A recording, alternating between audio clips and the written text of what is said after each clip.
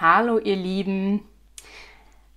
Ich möchte heute mit euch eine sogenannte Zauberkarte basteln und zwar äh, im österlichen Stil.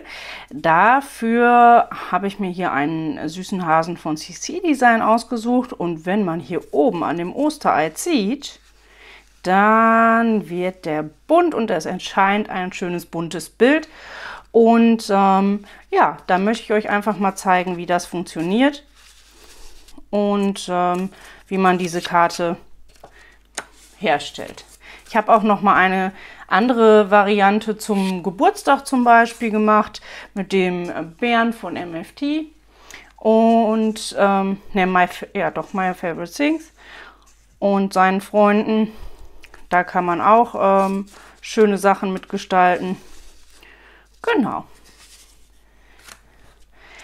Ähm, ich werde euch heute das Ganze in mehreren Schritten erzählen und äh, sage euch auch immer bei den einzelnen Schritten, was wir für Materialien benötigen und in welchen Maßen. Ich werde euch die Maße aber auch unten alle komplett einmal zusammengefasst hinschreiben und natürlich auch die Materialien, sofern ich sie denn online finde, auch verlinken. Also schaut unbedingt unten auch in die Infobox. Und ich würde mal sagen, wir starten einfach mit dem ersten Step. Für den ersten Schritt brauchen wir einmal eine Grundkarte in 28,6 mal 10 cm.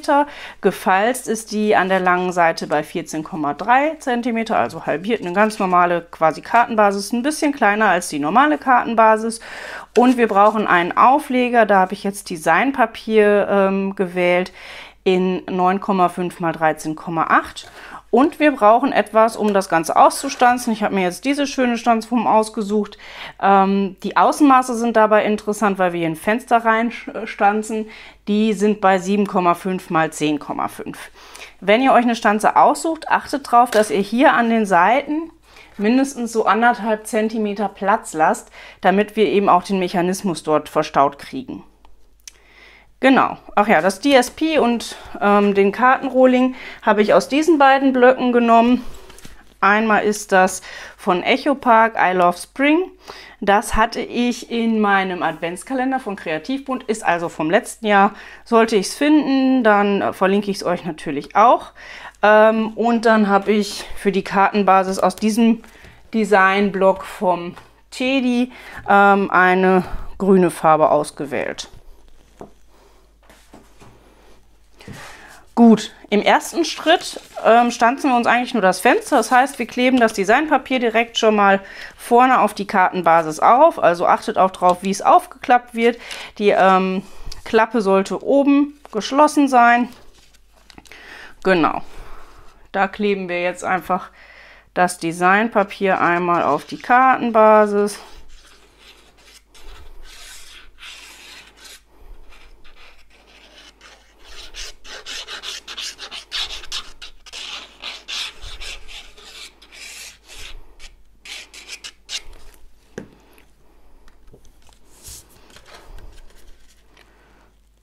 Ungefähr mittig aufkleben, so dass wir überall einen gleichmäßigen Rand haben und andrücken und dann bringe ich mir die Stanze mittig auf. Ihr könnt es natürlich auch je nach Design weiter oben oder unten machen, aber bedenkt auch hier einen ausreichenden Abstand zu halten, damit ihr eben auch den Mechanismus dort unterbringen könnt.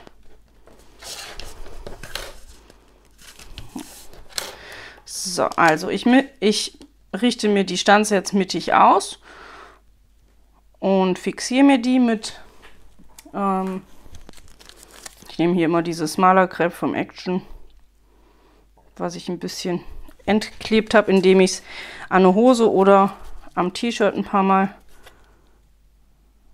ähm, abgezogen habe, damit mir nicht das Papier kaputt reißt.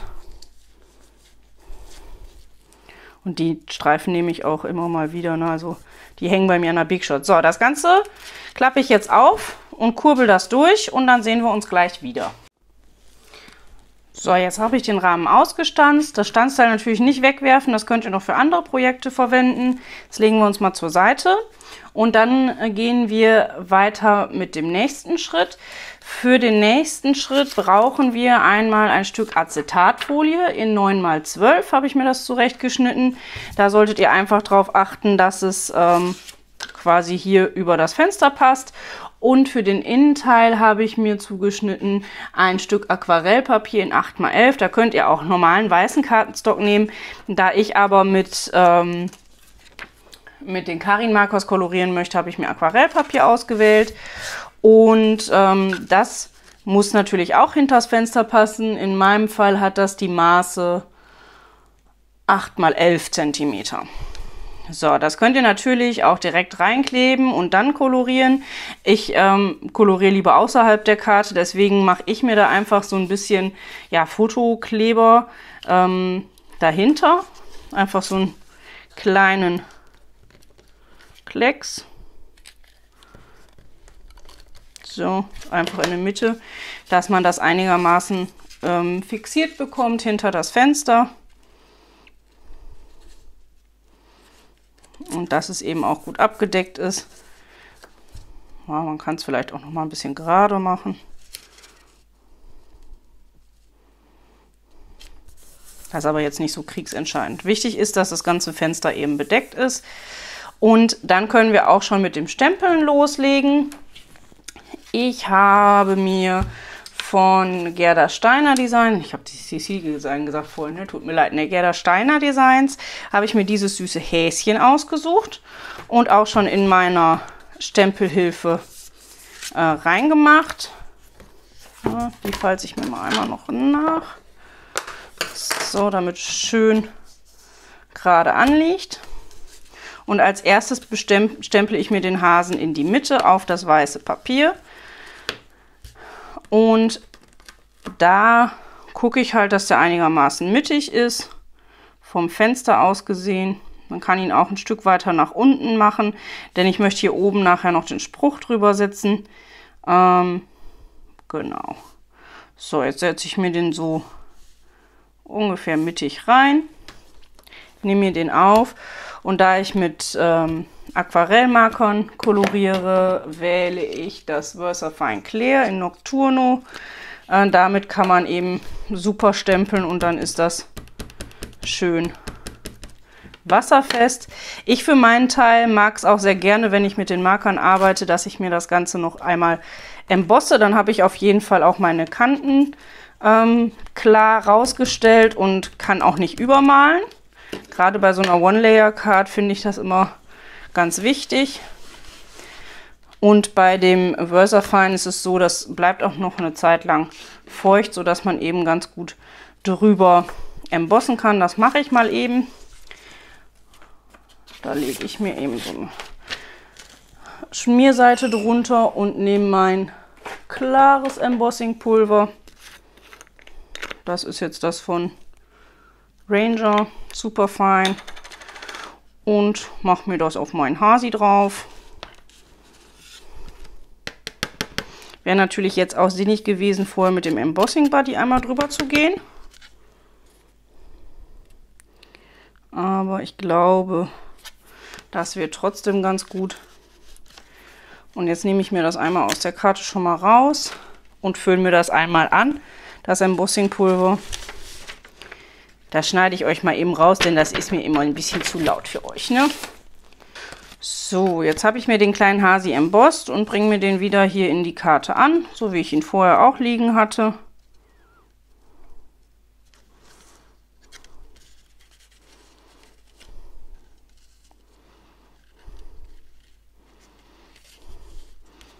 So. Und dann nehme ich mir meine Folie zur Hand die auch noch mal eben einmal drüber, damit ich sie einigermaßen sauber habe. Die ziehen ja immer Fusseln an, diese Folien. Lege ich mir das so ungefähr mittig drüber. Na, ohne dass mein Hase hier unten verrutscht. So.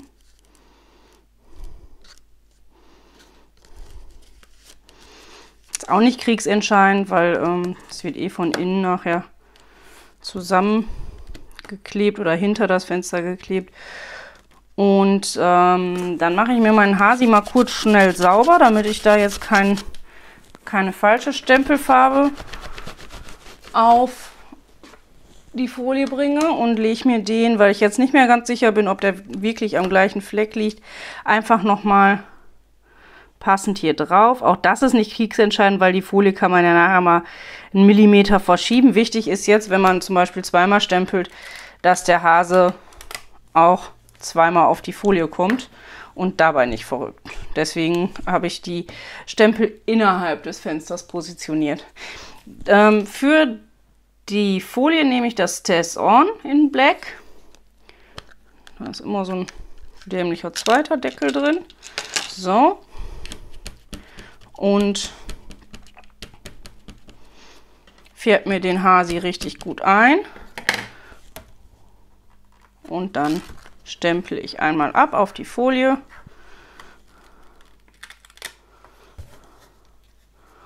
Ich glaube, das ist, kann man ruhig nochmal stempeln.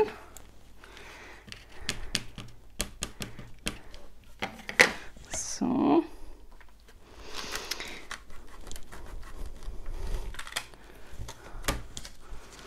Nehmen wir die Folie mal vorsichtig ab, denn das muss ja jetzt erst trocknen. Ja, aber den Abdruck finde ich echt ganz gut. Also die Folie gut zur Seite legen, die muss jetzt erstmal trocknen. Während das trocknet, widme ich mich dem Innenleben und koloriere das. Und dann äh, sehen wir uns gleich wieder.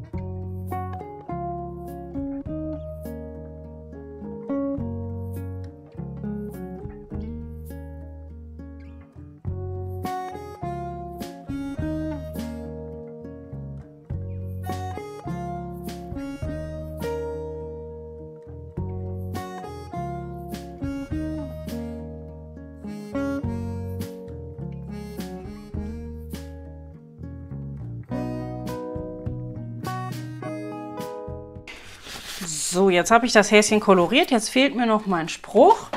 Dafür nehme ich wieder die Stempelhilfe zur Hilfe und mache mir hier nochmal das Häschen in der Karte rein.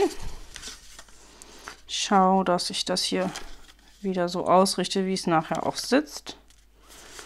So finde ich es ganz hübsch. Oh, der Kleber tut sogar noch. Und dann kann ich eben wieder gucken, ähm, wo genau kann ich den Spruch hinstempeln, dass es eben auch im Fenster ist. Irgendwie gefallen mir die Bäckchen hier noch nicht so. Gehe ich einfach nochmal mit ein bisschen Wasser drüber und versuche mal so ein bisschen die Kanten wegzukriegen. So, zum Spruch.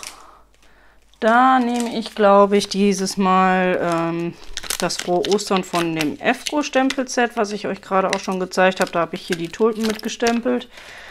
Ähm, ja, das sind auch meine einzigen Ostersets, die ich so besitze.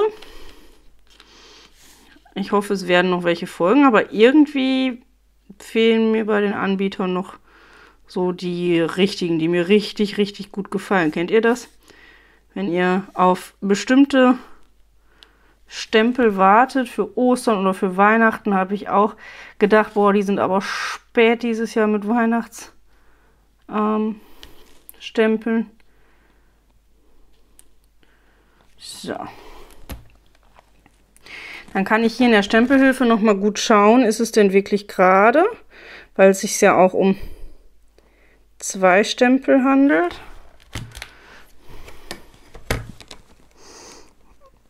Glaube, ich gebe die beide auf die Linie ein paar Millimeter höher, dann kann ich es besser sehen. Weil das ist bei diesem Stempel, weil er eben zweigeteilt ist, echt ein bisschen doof, wenn der nicht gerade wird. Hm, fast.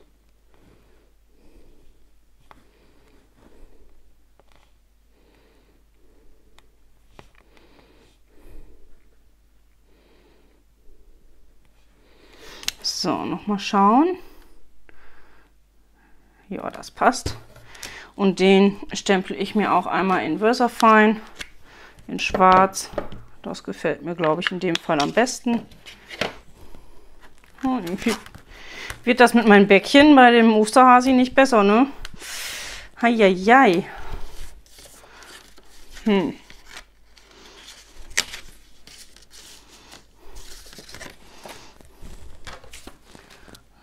So. Da muss ich noch mal einmal gucken, was ich mache. Ob ich da noch mal einmal komplett drüber gehe mit Farbe. das ist immer so schade, wenn man sich so Mühe beim Kolorieren gegeben hat und dann sieht das nachher so verhunzt aus, ne? Und den Hintergrund habe ich ja auch schon fertig. So, eigentlich wollte ich das hier jetzt nicht nochmal machen. Ich gehe mal nochmal überall drüber mit ein bisschen brauner Farbe und hoffe, es wird Jetzt überall wieder feucht. Ja, hier noch ein bisschen feucht machen. ist immer doof, wenn man diese Ränder hat, die kriegt man so schlecht weg. Kennt ihr das auch? So. Jetzt ist aber gut. Ich glaube, sonst verschlimmbessere ich das nur noch. So, trocken. Weiter geht's mit dem nächsten Schritt. Ähm, jetzt setzen wir tatsächlich den Mechanismus zusammen. Dafür brauchen wir im ersten Schritt ein paar Streifen, ein paar Papierstreifen. Das ist aus dem gleichen Papier wie hier diese Grundkarte. Und zwar brauchen wir vier Streifen in habe ich stehen. Vier Streifen in 14,2 mal 0,5 und zwei Streifen in 8,9 mal 1 cm. Und da kleben wir jetzt im ersten Schritt erstmal zwei aufeinander jeweils. Je nachdem, wie groß eure Ausstanzung ist, könnt ihr die natürlich auch breiter machen. Da müsst ihr mal ein bisschen gucken. Ähm wie es bei euch am besten passt. Aber ein Zentimeter war bei mir schon wieder für die Seiten ein bisschen zu breit. Ähm, da hätte man eben den Mechanismus nicht mehr so gut da reinbringen können. Der hätte dann hier an der Seite hätte das bunte Bild vorgelugt und das wollen wir ja nicht, ne? So.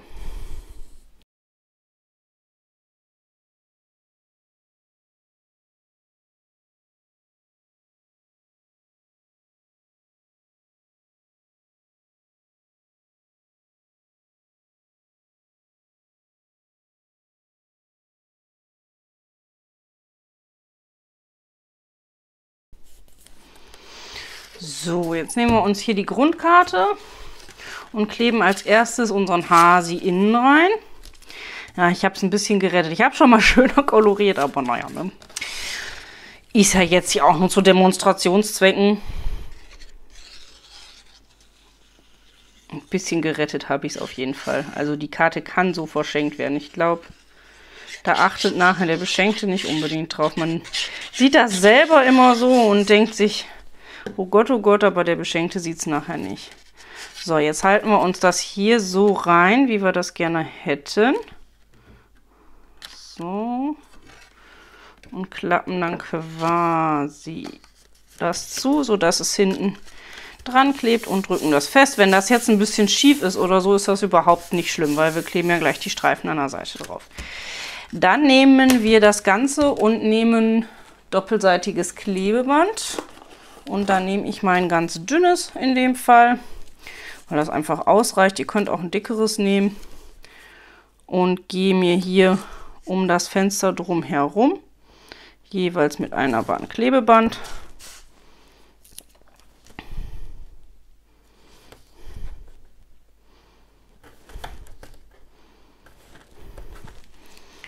Einmal links und rechts und oben und unten.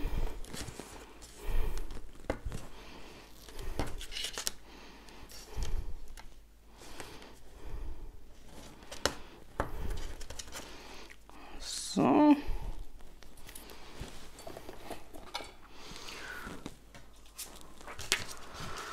Da habe ich schon meine Folie. Dann kann ich jetzt auch einmal drüber streichen, weil das Stayson ist jetzt trocken. Wichtig ist, dass hier das einigermaßen zumindest sauber ist und nicht tausend Flusen da dran sind. Dann zuppel ich mir hier die Klebestreifen ab.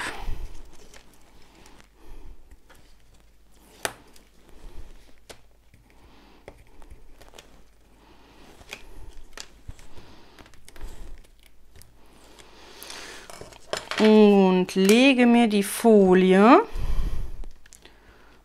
na komm her, dann lege ich mir die Folie hier so drauf, dass die exakt mit dem Hasi hier unten drunter übereinstimmt. So. Hm. So. Und dann klappe ich mir das einfach runter und drücke mir hier die Klebestreifen an der Seite fest und habe dann meine Folie befestigt. So. Jetzt bauen wir uns noch den endgültigen Mechanismus. Dafür bringen wir einmal hier die Streifen an. Einmal links und rechts die langen.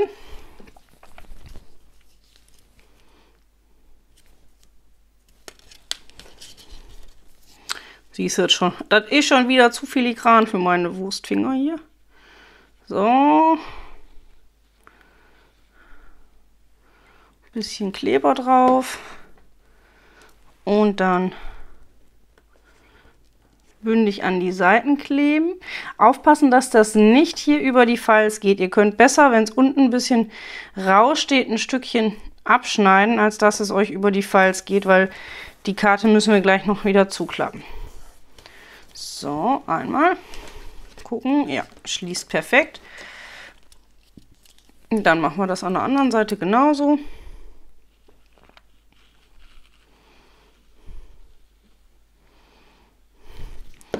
So. Einmal an die Falz und hier schön bündig abschließen. Ihr könnt das natürlich auch mit ähm, Foam Tape machen. Abstandsklebeband. Ich fand das jetzt so vom Abschluss her schöner. Wenn mal einer von der Seite guckt, ist es in der gleichen Farbe. So, Und jetzt habe ich hier so ein mini, mini Stückchen überstehen. Und das schneide ich mir einfach mit der Schere ab. Das ist nicht so tragisch. Hauptsache die Falz oben ist frei, damit man die Karte gut schließen kann. Dann nehme ich mir hier das Stück und gucke, ob das auch hier gut zwischenpasst. Das ist ein bisschen zu groß. Dann schneide ich mir einfach ein Stückchen ab. Das ist auch nicht weiter tragisch. So. Und klebe das noch unten rein.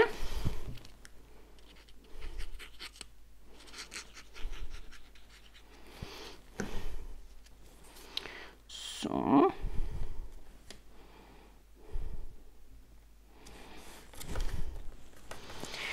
Und dann brauchen wir für die Magie ein Stück weißen Cardstock. Da habe ich jetzt ganz normalen weißen Cardstock genommen. Und ähm, der hat die Maße 13,2 mal 8,9. Und der müsste hier direkt zwischenpassen. Ein Millimeter zu bereit. Das schneide ich mir mal flott ab, dass der gut sliden kann. So, einmal in den Papierschneider. Fertig. So, und jetzt gucke ich, dass ich mir noch einen Stoppmechanismus baue. Dafür nehme ich mir mein Geodreieck zur Hand und einen Bleistift und zeichne mir unten einen 1 cm Strich an. Und an den Seiten jeweils 0,5. Auch da könnt ihr eben gucken, ähm, wie viel Platz ihr da an den Seiten habt. Ich habe jetzt ähm, mit, meiner, mit meiner Ausstanzung relativ wenig Platz sogar gelassen. Also die 1,5 sind wirklich absolutes Minimum, damit man arbeiten kann und nicht äh, in Teufels Küche kommt. Und man kann sich das auch immer ganz schön hier nochmal reinlegen. So. Und wenn man die seitlichen Streifen sieht, dann passt es nicht. Ne? Aber so passt es jetzt. Und ich schneide mir das jetzt so aus, dass ich hier diese seitlichen Rechtecke ausschneide und hier eben einen Stopper stehen lasse. Das heißt, ich schneide mir einmal hier ein und schneide mir dann runter. Hm.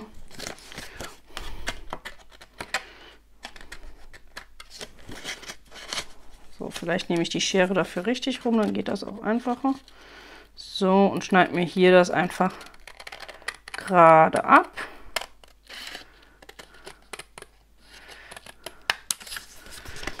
Und mache das auf der anderen Seite genauso.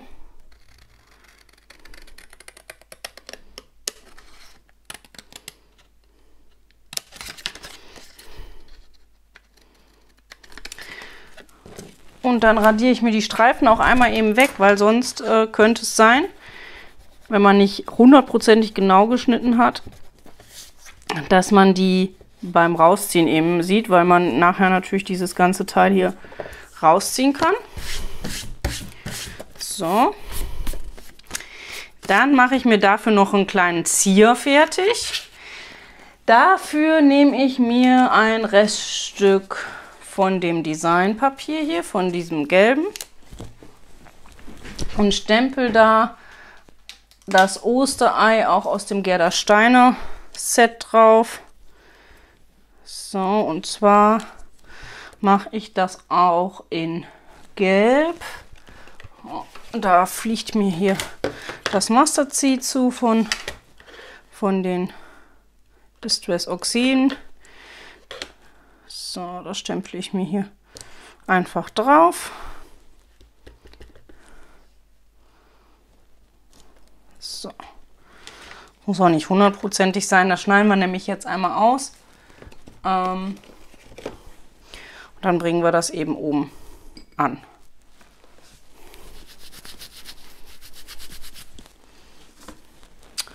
So. Wie gesagt, die Eier schneide ich mal eben aus. einfach mit einer kleinen Schere. Ich habe hier tatsächlich so eine Nagelschere. Wer eine gute kleine Schere für solche feinen Ausschneidearbeiten empfehlen kann, kann mir das ja mal unten in die Kommentare reinschreiben. Ich such, bin nämlich nur auf der Suche. Und ja, es gibt ja unendlich viele Scheren. Und ähm, von daher wer da einen guten Tipp hat, ich bin da sehr dankbar für, für Tipps aller Art, weil ich halt immer mit dieser gebogenen Fingernagelschere schneide. Ich meine, mit der geht das sehr gut, da habe ich mich auch mittlerweile dran gewöhnt. Aber, ah ja, und was ich auch noch suche, ist so eine normal große, also mittelgroße Teflon beschichtete Schere. Also wenn da jemand noch einen Tipp hätte, gerne mal unten in die Kommentare schreiben. Da bin ich sehr dankbar für. So, als Zieher könnt ihr alles nehmen, was so symmetrisch ist, ähm, weil wir das nachher so gegeneinander kleben.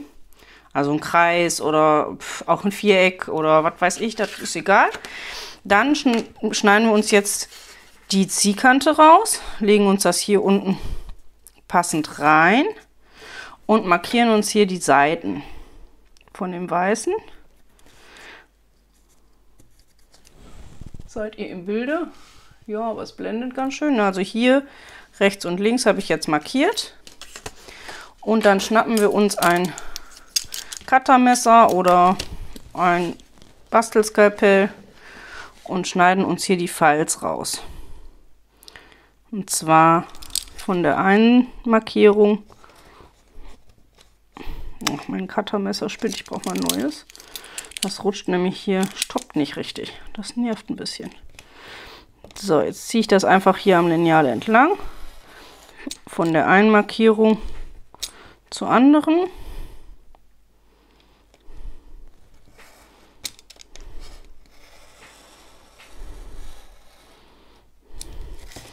So. Und schneide mir das eben raus.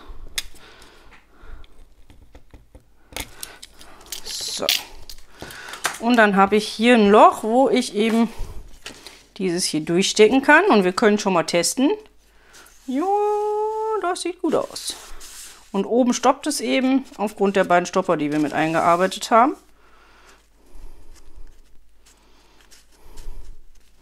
Wenn wir es gleich festkleben, geht das auch hier nicht an den Seiten raus. Ne?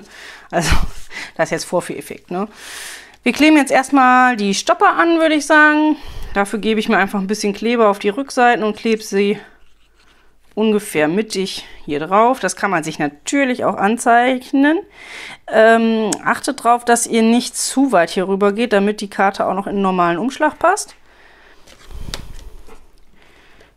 So, eine Seite und die andere. Einmal schön übereinander kleben. Ja. Das sieht gut aus. So, jetzt müssen wir das Ganze nur noch zusammenkleben. Dafür bringen wir uns doppelseitiges Klebeband hier auf die Streifen an. An den Seiten nehme ich wieder mein mega dünnes. Ich glaube, das sind jetzt ähm, 3 mm.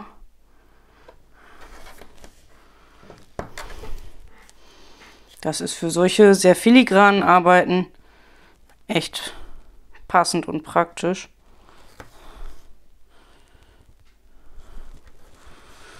So. Und für unten nehme ich mir ein etwas breiteres. Ich weiß gar nicht, wie breit das ist. 8 mm oder so. Das ist das vom Action.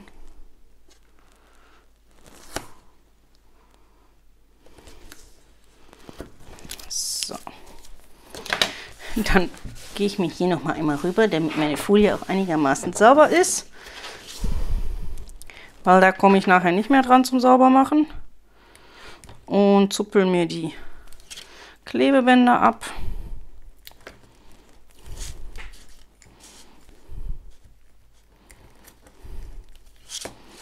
So, achte darauf, dass mein Schieber hier innen liegt, dass ich den nicht mit reinklebe.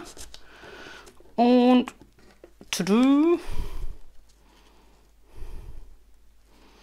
Schließe die Karte. Und gucke, dass es bündig abschließt und drücke das fest. Und schon haben wir den Mechanismus fertig. So. Ja, sehr schön. Und ich finde, ich habe die Koloration ganz gut gerettet. So. Das Ganze kleben wir jetzt einfach nochmal, damit man auch was schreiben kann auf eine normal große Grundkarte. Die habe ich mir jetzt aus gelbem Cardstock einfach zurechtgeschnitten. Die hat die Größe 29,6 mal 10,5, gefalzt bei 14,8. Ist so eine Hochklappkarte. Und ähm, da kleben wir jetzt einfach diese Karte mit drauf.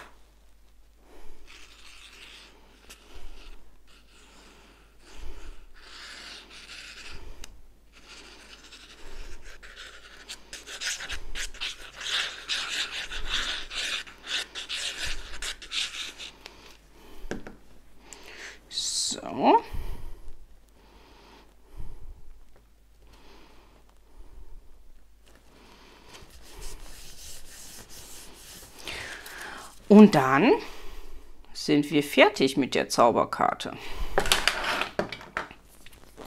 Hier nochmal mein Musterstück.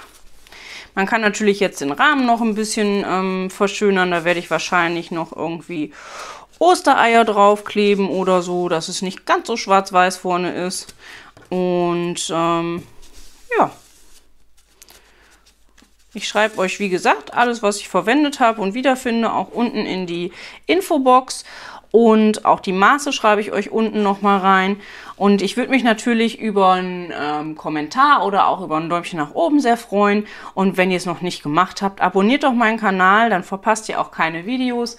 Und ich würde sagen, ich wünsche euch erstmal einen schönen Tag, einen schönen Abend und sage Tschüss, bis zum nächsten Mal.